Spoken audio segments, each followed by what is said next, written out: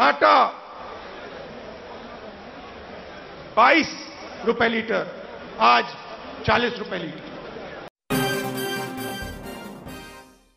नमस्कार, इन खबर में आपका स्वागत है। 2024 के आम चुनाव को नज़दीक भाप करके सभी राजनीतिक दल लामबंद होने लगे हैं। कांग्रेस ने 7 सितंबर से भारत जोड़ो यात्रा का ऐलान किया है। उससे पहले महँगाई और बेरोजगारी जैसे मुद्दों को लेकर के। नई दिल्ली में हल्ला बोल रैली की। इसमें पूर्व अध्यक्ष राहुल गांधी बोल रहे थे, मोदी सरकार पे बरस रहे थे और गिना रहे थे महँगाई कि 2014 में पेट्रोल का प्राइस क्या था, एलपीजी का प्राइस क्या था और आटा का प्राइस क्या था। बोलते बोलते आटे को वो लीटर में बता गए और हो गई उनसे बहुत बड़ी गलती।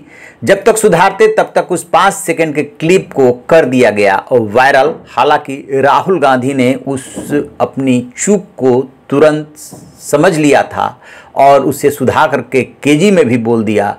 लेकिन जो ट्रोल कर रहे हैं, उन्हें भला केजी से क्या लेना देना था? उन्हें तो मसाला मिल गया था। सुनिए राहुल गांधी का वो पूरा भाषण। महँगाई। मेरे पास आंकड़े हैं। 2014 में एलपीजी एलपीजी का सिलेंडर 410 रुपए का था। आज एक हज़ार पचास रुपए का है। पेट्रोल सत्तर रुपए लीटर। आज तकरीबन सौ रुपए लीटर। डीजल पचपन रुपए लीटर।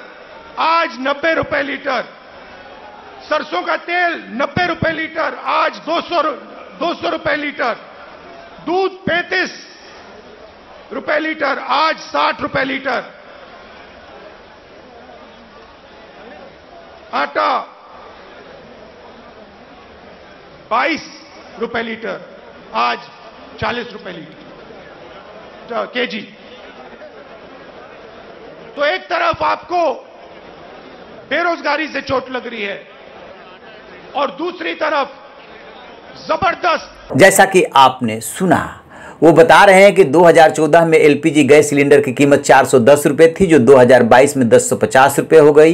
पेट्रोल, डीजल 2014 में 70 और 55 रुपए लीटर था, जो 100 और 90 रुपए लीटर है। दूध 35 रुपए था, जो 60 रुपए लीटर हो गया है। इसी में कहते हैं कि आटा 2014 में 22 रुपए लीटर था, जो आज 40 रुपए लीटर है।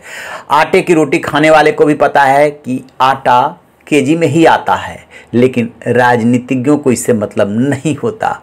उन्होंने तो मसाला चाहिए, सो मसाला मिल गया था।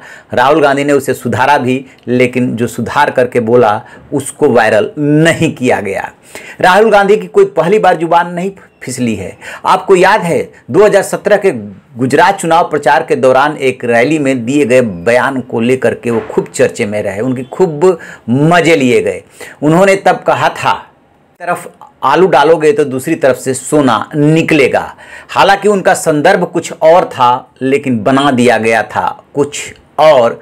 और 2018 के एमपी राजस्थान छत्तीसगढ़ के विधानसभा चुनाव में भी इसे खूब बनाया गया था। ये थी कि ये बात उन्होंने पीएम मोदी पर तंज के रूप में कही थी, लेकिन उसे एडिट करके निकाल दिया गया था।